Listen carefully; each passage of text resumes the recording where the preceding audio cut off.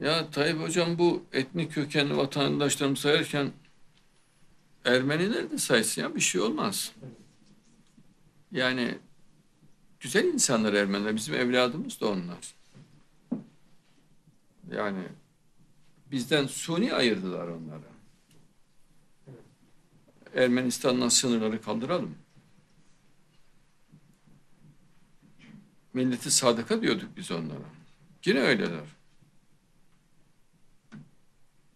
Abaza, Çerkez, Zaza, Ermeni desin ya. Çok güzel olur.